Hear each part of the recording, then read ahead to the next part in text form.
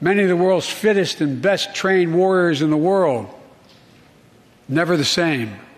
Headaches, numbness, dizziness.